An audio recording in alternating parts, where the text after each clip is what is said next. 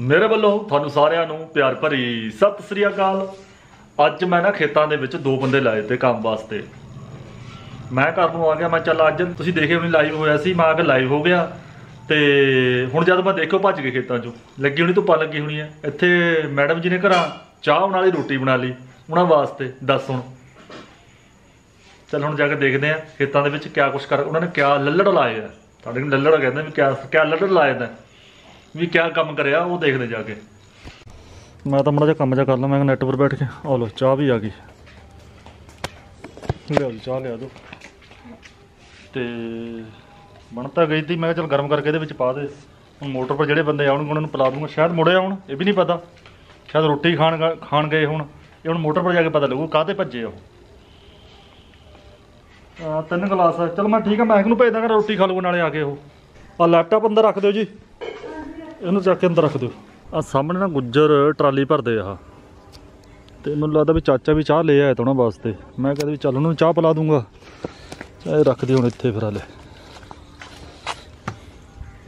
ਇੱਧਰ ਮਹਿਕ ਲੱਗਿਆ, ਮਹਿਕ ਦਾੜੀ ਲੱਗਿਆ ਇੱਧਰ ਖੇਤਾਂ ਵਿੱਚ। ਇਹ ਪਰਾਲੀ ਜੀ ਇਕੱਠੀ ਕਰਨ ਲੱਗੇ ਹੋਏ ਤੇ ਇਹਨੂੰ ਭੇਜਦਾ ਘਰ ਨੂੰ ਹੁਣ ਮੈਂ। ਮਹਿਕ! ਉਹ ਤੁਸੀਂ ਘਰ ਨੂੰ ਰੋਟੀ ਖਾ ਲਓ ਜਾ ਕੇ। ਮੇਰੇ ਖੇਤ ਐਨ ਸਾਫ਼ ਕਰਤਾ। ਅਮਨੇ ਦਾ ਖੇਤ ਇੱਧਰ ਆ ਮੇਰਾ ਆ ਉਧਰ ਮਹਿਕ ਲੱਗਿਆ ਹੋਇਆ।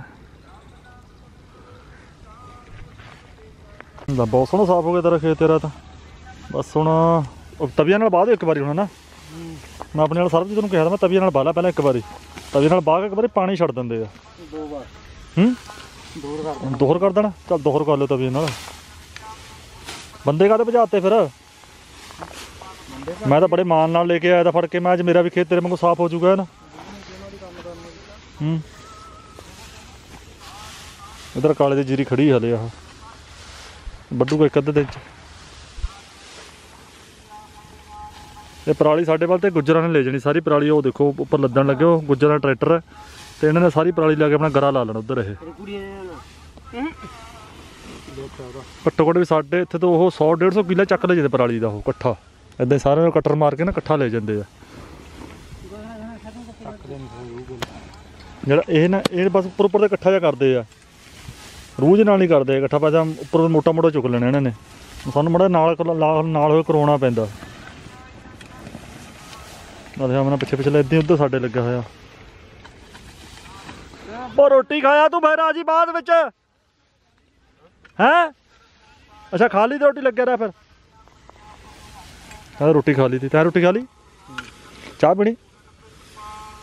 ਚਾਹ ਲਿਆ ਤਾਂ ਮੈਂ ਤਾਂ ਉਹਨਾਂ ਬਾਅਦ ਚਾਹ ਲੈ ਕੇ ਆਇਆ ਤਾਂ ਰੋਟੀ ਬਣਾ ਲਈ ਘਰ। ਮੈਂ ਰੋਟੀ ਲੈ ਕੇ ਚੱਲਦਾ। ਜਦ ਲੱਗਿਆ ਪਤਾ ਕਹਿੰਦਾ ਭੱਜ ਗਏ ਉਹ ਤਾਂ। ਫਰਾਰ ਬੰਦੇ। ਬੰਦੇ ਫਰਾਰ ਹੋ ਗਏ।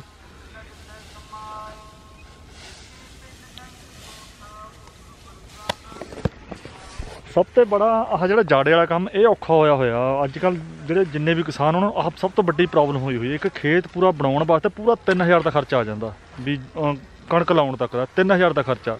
ਜੇ ਇਹਦਾ ਕੋਈ ਗਵਰਨਮੈਂਟ ਹੱਲ ਕਰ ਦੇਵੇ ਨਾ ਪਰ ਇਸ ਵਾਰੀ ਸਾਡੇ ਵੱਲ ਤਾਂ ਹਾਲੇ ਕਿਸੇ ਨੇ ਅੱਗ ਨਹੀਂ ਲਾਈ, ਹਾਲੇ ਦੇਖੋ। ਅੱਗ ਲਾਵੇ ਵੀ ਨਾ ਵੀ ਕਿ ਬਹੁਤ ਵਧੀਆ ਹੁਣ ਮੌਸਮ ਹੋਇਆ। ਹਾਂ, ਥੱਲੇ। ਥੱਲੇ ਕਾਲੀ ਵਾਲੀ ਮਸ਼ੀਨ ਨੇ। ਉਹਨੂੰ ਹੁਣ ਪਤਾ ਲੱਗ ਗਿਆ ਮਸ਼ੀਨ ਚਲਾਉਣ ਦਾ। ਇਹ ਕਿੱਦਾਂ। ਇਹਦਾ ਥੋੜੇ ਨਹੀਂ ਜ਼ਿਆਦਾ ਗੇੜਦਾ। ਅੱਜ ਕੱਲ ਵੀ ਸ਼ਿਕਾਇਤ ਆਈ ਸੀ ਦੀਦੀ ਇੱਕ ਬੰਦੇ ਕੋਲ ਤੇ। ਕਾਲੇ ਵਾਲੀ ਮਸ਼ੀਨ ਦਾ ਪਤਾ ਨਹੀਂ ਉਹ ਸਾਰ ਪਤਾ ਨਹੀਂ ਕਿੱਥੇ ਦਿਖਾਈ? ਕਾਲੇ ਨੇ ਦੇਖ ਲੈਣੀ ਵੀਡੀਓ, ਉਹਨੂੰ ਦਿਖਾਏ ਦਈਏ। ਹਾਂ। ਇਹਦਾ ਬੋਝ ਹਲੇ ਨਾਲੇ ਆ ਦੇਖੋ ਕਿੰਨੀ ਥੱਲੇ ਕਹਿੰਦਾ ਕਿੰਨੇ ਗਿਰਿਆ ਬਾਈ ਕਾਫੀ ਗਿਰੇ ਹੋਏ ਆ ਤਾਂ ਯਾਰ। ਆ ਸਾਰੇ ਜੇ ਇੱਧਰ। ਦੇਖੋ ਕਿੰਨੇ ਨਾ ਜੀਰੀ ਥੱਲੇ ਗਿਰੀ ਕਾਲੀ ਵਾਲੀ ਮਸ਼ੀਨ ਨੇ। ਸਿਰੇ ਤਾਂ ਕਿਆ ਪੂਰੀ ਫਾਂਟ। ਹੈ? ਉਧਰ ਨੂੰ ਵੀ ਫਾਂਟਾ ਇਹਦਾ ਅੱਛਾ। ਤਾਂ ਹੀ ਝਾੜ ਘਟ ਗਿਆ ਸਾਡਾ ਜੀ 2.5 ਕੁਇੰਟਲ ਉਹਨੇ ਥੱਲੇ ਖੜਾਤਾ ਹੂੰ। ਲਓ ਜੀ ਵੱਡੀ ਆ ਫਾਂਟ ਸਾਰੀ ਜੜੇ ਵਾਲੀ ਆ ਜਿਹੜੀ ਸਿਰੇ ਤੱਕ ਨੂੰ ਸਿੱਧੀ ਸਿੱਧੀ ਆ। ਕਿ ਇਹਦੇ ਨਾਲ ਕਟਰ ਵੱਜਿਆ ਨਹੀਂ ਤਾਂ ਜੇ ਕਟਰ ਮਾਰਿਆ ਤਾਂ ਪਹਿਲਾਂ ਖੇਤ ਦੇ ਵਿੱਚ ਨਾ। ਜਦ ਤੁਸੀਂ ਕਰੋ, ਪਿਛਲੀ ਵੀਡੀਓ ਦੇਖੀ ਕਵੈਨ ਵਾਲੀ ਕਟਰ ਮਾਰਿਆ ਸੀ। ਚਲੋ ਬੈਠ ਕੇ ਹੌਲੀ ਹੌਲੀ ਨੂੰ ਵੱਢਦਾ ਜਾਂਦਾ। ਤੇ ਵੈਸੇ ਡਾਕਟਰ ਨੇ ਤਾਂ ਨਾ ਕੀਤੀ ਸੀ, ਚਲ ਹੌਲੀ ਹੌਲੀ ਹੌਲੀ ਆ ਫਾਂਟ ਇੱਕ ਰਹਿੰਦੀ ਆ। ਇਹ ਕਿੱਲੇ ਦੀ ਫਾਂਟ ਆ ਹੌਲੀ ਹੌਲੀ ਵੱਢੂਗਾ ਫਿਰ ਇਹਨੂੰ ਮੈਂ, ਇਹਨੂੰ ਸਿਰੇ ਲਾਵਾਂ। ਤੇ ਹੈ ਤਾਂ ਕੋਈ ਏਡੀ ਬੜੀ ਗੱਲ ਨਹੀਂ ਹੈਗੀ। ਵੇਚਦੇ ਆ ਨਾ। ਤਾਂ ਵੱਢ ਹੋ ਜਾਣਾ ਸਾਰਾ।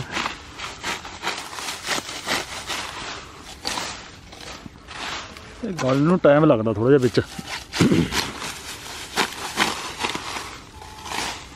ਇਹਦਾ ਕੋਈ ਹੱਲ ਨਹੀਂ ਕੱਢਦੀ ਹੈਗੀ ਗਵਰਨਮੈਂਟ ਅੱਗ ਇਹਨੂੰ ਨਹੀਂ ਲਾਉਣ ਦਿੰਦੀ ਹੈਗੀ। ਵੀ ਚੱਲ ਅੱਗ ਕੋ ਲੱਗ ਜਵੇ। ਸਰ ਜੂਗਾ ਫਿਰ।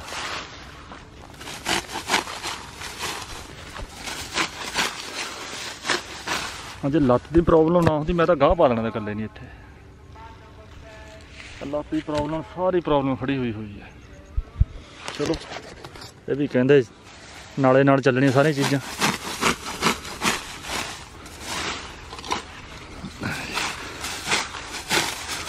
ਤੇ ਹੁਣ ਕਰਦਾ ਕੈਮਰਾ ਬੰਦ। ਸਿਰੇ ਤੱਕ ਲਾ ਕੇ ਲੈਣ ਫਿਰ ਕਰਦੇ ਆਂ ਗੱਲ। ਕਿੱਦਾਂ ਲੱਗਦਾ ਵੀਰੇ ਕੰਮ ਕਰਕੇ? ਕੰਮ ਕਰਕੇ। ਹੂੰ। ਪਹਿਲਾਂ ਇਹੀ ਕੰਮ ਕਰਦੇ ਹੁੰਦੇ ਤੇ। ਪਹਿਲਾਂ ਇਹੀ ਕੰਮ ਕਰਦੇ ਤੇ। ਦੁਬਾਰਾ ਫੇਰ ਕਰਨੇ ਪੈ ਗਏ। ਪਹਿਲਾਂ ਇਹਨੂੰ ਬ- ਉਹ ਕਰਦੇ ਭਈਏ ਪੜਦੇ ਹੁੰਦੇ ਆ, ਮਸ਼ੀਨਾਂ ਮਸ਼ੀਨਾਂ ਤਾਂ ਹੁਣ ਆਈਆਂ। ਅੱਛਾ। ਤੇ ਭਈਏ ਪੜਦੇ ਝਾੜ ਦਿੰਦੇ ਪਰਾਲੀ ਦੇ ਗਰੇ ਲੱਗ ਜਾਂਦੇ ਤੇ। ਪਰਾਲੀ ਚੱਕਦੇ ਤੇ? ਪਰਾਲੀ ਚੱਕਣਾ ਗਰੇ ਲੱਗ ਜਾਂਦੇ ਪਰਾਲੀ ਵਿਕ ਜਾਂਦੀ ਜਿਹੜੀ ਗਰੇ ਵਾਲੀ ਤੇ ਹੁੰਦੀ ਸੀ। ਹੂੰ। ਪਰਾਲੀ ਸਾਈਡ ਲਾ ਕੇ ਸਾਈਡ ਤੋਂ ਲਾ ਕੇ ਗਲੀ ਗੁਲੀ ਜਾਂਦੀ ਸੀ। ਹੂੰ। ਆ ਹੁਣ ਤਾਂ ਬਹੁਤ ਔਖਾ ਹੋਇਆ ਮਸ਼ੀਨਾਂ ਵੱਢ ਹੋ ਜਾਂਦੇ ਬਾਅਦ। ਆ ਦੇਖ ਲੈ ਤੇਰਾ ਖੇਤ ਇਧਰ ਹੂੰ ਔਖੇ ਹੀ ਲੋਟ ਆਉਣੇ ਇਹ। ਆ ਦੇਖ ਲੈ ਖੇਤ ਇਧਰ ਦਿਖਾ ਇਧਰ ਨੂੰ। ਸਵਾਗਾ ਥੋੜਾ ਵੱਜਣਾ? ਹਾਂ। ਉੱਚੇ ਨਹੀਂ ਮੈਂ ਨੇ। ਉੱਚਾ ਨਹੀਂ ਹੋਇਆ ਪਿਆ ਖੇਤ ਇਹ। ਹੂੰ। ਪਤਾ ਨਹੀਂ ਕਦ ਤਿਆਰ ਹੋਊਗਾ ਇਹ, ਹੁਣ ਅਸੀਂ ਵੀ ਇਦਾਂ ਹੀ ਕਰਨਾ ਹੁਣ ਕੱਲ ਨੂੰ ਹੂੰ। ਤਵੀ ਨਾਲ ਵਾਹ ਕੇ ਪਾਣੀ ਛੱਡ ਦੇਣਾ। ਪਾਣੀ ਛੱਡ ਦੇਣਾ ਓ ਅਮਨ ਆ ਜਾ ਆ ਜਾ। ਉਹ ਆ ਜਾ ਅੱਗ ਲਾ ਦੇਣੀ ਮੈਂ ਅੱਜ ਸ਼ਾਮ ਨੂੰ। ਆ ਜਾ ਆ ਜਾ ਤੂੰ ਰਹਿਣ ਦੇ ਗੁੱਸੇ ਨੂੰ ਜਾਣ ਦੇ ਗੁੱਸੇ ਨੂੰ। ਆ ਸਾਈਡ ਸਾਰੀ ਵੜਤੀ ਆ ਸਿਰੇ ਤੱਕ ਆ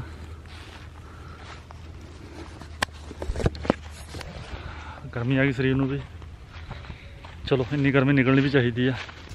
ਨਹੀਂ ਚੁਕਾਈ ਤਾਂ ਫ੍ਰੀ ਆ। ਮੈਂ ਕਿਹਾ ਪਾਣੀ ਪਿਲਾ ਮੈਨੂੰ ਯਾਰ। ਅੱਗ ਲਾ ਕੇ ਪਰਾਂ ਨਹੀਂ ਕਰੂੰਗੇ। ਹਾਂ, ਕਿਆ ਕਹਿੰਦਾ ਅਮਨਾ ਤੈਨੂੰ? ਆਮਨਾ ਕਹਿੰਦਾ ਯਾਰ ਕਾਹਦਾ ਕੰਮ ਹੈ? ਹਾਂ ਫੱਦੂ ਕੰਮ ਹੈ? ਦੂਗਾ ਮੈਂ ਕਹਿੰਦਾ ਅੱਗ ਲਾ ਕੇ ਪਰਾਂ ਕਰੂੰਗਾ। ਕਹਿੰਦਾ ਅੱਗ ਲਾ ਕੇ ਪਰਾਂ ਕਰੋ। ਹੋਰ? ਅਮਨਾ ਵੀ ਘੈਂਟ ਹੈ। ਇਹਨੂੰ ਕਹਿੰਦਾ ਕਹਿੰਦਾ ਤੂੰ ਤੂੰ ਨਾ ਕਹਿੰਦਾ ਕਰੀਏ ਕੰਮ। ਹੂੰ। ਕਹਿੰਦਾ ਅੱਗ ਲਾ ਕੇ ਪਰਾਂ ਕਰੀ। ਕਹਿੰਦਾ ਦੁਖੀ ਹੋਏ ਵੇ। ਦੁਖੀ ਆ ਤਾਂ ਅੱਜ ਕੱਲ ਵਾਲੀਆਂ ਪੁਰਾਣੀਆਂ ਦੇ ਵਿੱਚ ਕੰਡ ਘੱਟ ਹਲੇ। ਨਹੀਂ ਤਾਂ ਪਿੰਡੇ ਪਰ ਇੰਨੀ ਲੜਦੀ ਨਾ ਇਹ। ਬੁਰਾ ਹਾਲ ਬੁਰਾ ਹੋ ਜਾਂਦਾ। ਹੁਣ ਤਾਂ ਕੰਡ ਹਲੇ ਘੱਟ ਆ ਪਤਾ ਨਹੀਂ ਕਿਹੜੇ ਕਿਹੜੇ ਬੀਜ ਆ ਗਏ ਇਹ। ਨਹੀਂ ਤਾਂ ਪਿੰਡੇ ਪਰ ਖਾ ਜੇ ਬਹੁਤ। ਨਵੀਆਂ ਵੈਰਾਈਟੀਆਂ ਵਾ ਆਹੀ ਹੈ ਨਾ। ਹਾਂ ਹਾਂ। ਦੂਈ ਤਰ੍ਹਾਂ ਚੱਕ ਕੇ ਦੇਖ ਲੈ। ਨਹੀਂ ਤਾਂ ਵਿੱਚ ਨੂੰ ਫਿਰ ਨਹੀਂ ਹੁੰਦਾ ਦਾ ਇਸ ਟਾਈਮ ਨਹੀਂ ਤਾਂ ਪੱਛ ਜੇ ਲੱਗ ਲੱਗ ਬੁਰਾ ਹਾਲ ਹੋ ਜਾਂਦਾ ਸੀ। ਹੁਣ ਜਿਹੜੀਆਂ ਬਾਹਾਂ ਪਰ ਲੱਗੇ ਹੋਏ ਨੇ ਨਾ ਖਾਜ ਜੀ ਹੋਣੀ ਸ਼ੁਰੂ ਹੋ ਜਾਂਦੀ ਸੀ ਜਿਹੜੀ ਕੰਡ ਲੜਦੀ ਬਹੁਤ ਲੜਦੀ ਇਹਦੀ। ਬਾਈ ਫਿਰ ਬਜਾਈ ਕਰਦੇ ਨਾ ਕਰਾਉਣੀ ਹੈਪੀ ਸੀਡਰ ਨਾਲ? ਦੇਖਦੇ ਹਾਂ ਹਲੇ ਹਲੇ ਨਾ ਅਸੀਂ ਕੱਲ ਨੂੰ ਤਵੀਆਂ ਨਾਲ ਵਧਣਾ ਇਹ। ਹੈਪੀ ਸੀਟ ਨਾਲ ਨਹੀਂ ਹੈ ਮੈਂ ਹਾਂ। ਤਵੀਆਂ ਵਾਲੀ ਵਧੀਆ ਰਹਿੰਦਾ ਜਗਾ ਤਵੀਆਂ ਨਾਲ ਵਗ ਕੇ ਪਾਣੀ ਛੱਡ ਦੇਣਾ ਬਸ ਫਿਰ ਹਫ਼ਤੇ 10 ਦਿਨ ਤੱਕ ਬੱਤ ਆ ਜਾਊ ਹੋਰ ਕਣਕ ਬੀਜ ਦੂੰਗੇ। ਹਾਂ ਵਿੱਚ ਗਲ ਜਾਊਗਾ ਫਿਰ ਇਹ। ਫਿਰ ਐਂ ਹੁੰਦਾ ਨਾ ਬੀਜ ਫਿਰ ਜ਼ਿਆਦਾ ਪਾਉਣਾ ਪੈ ਜਾਂਦਾ ਉਹਦੇ ਨਾਲ ਫਿਰ। ਹੂੰ ਹੂੰ। ਹੂੰ। ਉਹਦੇ ਨਾਲ ਫਿਰ ਜ਼ਿਆਦਾ ਹਾਂ ਉਹ ਫਿਰ ਕਈ ਕਿਤੇ ਜੰਮਿਆ ਕਿਤੇ ਜੰਮਿਆ ਫਿਰ ਸਾਡੇ ਕੋਲ ਖੁਣਾ ਇਹਨਾਂ ਗੁੱਜਰਾਂ ਨੇ ਫਾਇਦਾ ਕਰਤਾ ਇਹ। ਹੂੰ। ਨਹੀਂ ਆਪਣਾ 3000 ਦਾ ਖਰਚਾ ਹੋ ਜਾਂਦਾ ਇਹ ਖੇਤ ਪਰ। ਬਾਈ ਵੱਧ ਹੈ। ਹੂੰ 3000 ਦਾ ਖਰਚਾ। ਤੇ ਸਿਰਫ 500 ਨਾਲ ਸਰਦਾ ਹੁਣ ਕਿਤੇ। ਹਾਂ ਕਿਤੇ ਹੁਣ ਸਾਡਾ 500 ਰੁਪਏ ਨਾਲ ਸਰ ਜਾਣਾ। ਨਾਲੇ 500 ਹੁਣ ਤੇਲ 1000 ਰੁਪਏ ਨਾਲ ਸਰ ਜਾਣਾ। ਕਟਰ ਹਾਂ। ਹਾਂ 1000 ਰੁਪਏ ਨਾਲ ਸਾਡੀ ਕਣਕ ਦੀ ਬਿਜਾਈ ਹੋ ਜਾਣੀ 1000 ਰੁਪਏ ਦੇ ਵਿੱਚ ਵਿੱਚ ਮੇਰੇ ਖਿਆਲ ਤੋਂ। ਅਹ 500 ਦਾ ਕੱਲ ਤੇਲ ਲੱਗੂਗਾ ਤੇ ਬੰਜੇ ਉਹਦੇ ਨਾਲ ਬਾਇਆ ਕੰਮ ਨੇ ਬੜਿਆ ਹੁਣ ਇਹ ਪਤਾ ਕਿਆ ਤੈਨੂੰ ਮੈਂ ਦੱਸ ਦਵਾਂ। ਇਹਨਾਂ ਗੁੱਜਰਾਂ ਨੇ ਕਰਿਆ ਹੋਇਆ ਠੇਕਾ ਕਿੱਲੇ ਦਾ। ਅੱਛਾ। ਠੀਕ ਹੈ? ਉਹ ਕਿੱਲੇ ਵੀ ਉੱਪਰ ਉੱਪਰ ਪਰਾਲੀ ਜੀ ਚੁੱਕਦੇ ਆ ਇਹ।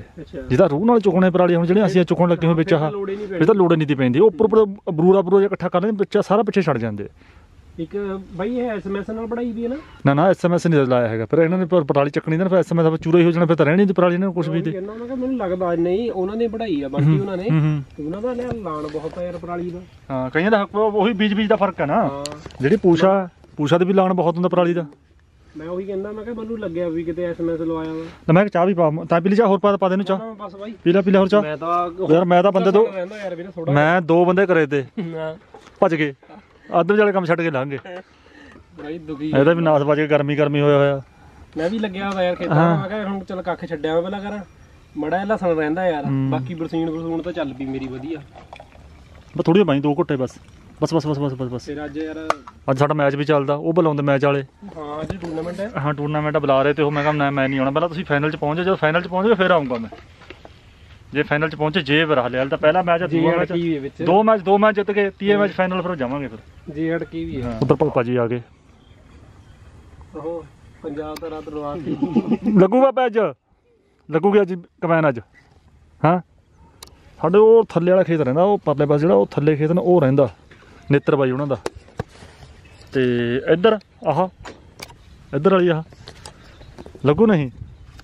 ਆਏ ਕਿੱਥੇ ਆਏ ਤਾਂ ਹਰਾ ਪਿੱਛੇ ਛੱਡ ਹਾਂ। ਥੋੜਾ ਜਿਹਾ ਥੋੜਾ ਜਿਹਾ ਹਰਾ। ਨਾ ਨਾ ਪੱਕ ਗਈ ਆ ਤਾਂ ਪੱਕੀ ਤਾਂ ਪਈ ਇਹ। ਇੰਨੇ ਕ ਦਾਣੇ ਨੇ ਹਰਾ ਹੀ ਦਿਖਾਈ ਜਾਣੀ ਬਾਈ। ਨਹੀਂ ਨਹੀਂ ਨਹੀਂ ਹੁਣ ਤਾਂ ਮੰਡੀਆਂ 'ਚ ਨਹੀਂ ਵੱਢਦਾ ਹੈਗਾ ਗਾਹਾਂ ਜਿਹੜੇ ਖੜੀ ਆ ਪੱਕੀ ਵੀ ਹੈ ਉਹ ਨਹੀਂ ਹਾਂ ਉਹ ਸਾਡਾ ਹੁਣ ਬਾਈ ਆਮ ਬਾਲਟੀ 'ਚ ਰਲਿਆ ਹੋਇਆ ਨਾ। ਮੇਰੇ ਵਾਲੀ ਨੂੰ ਡੋਡੀ ਪੈ ਗਈ ਥੋੜੀ ਥੋੜੀ ਡੋਡੀ ਪੈ ਗਈ?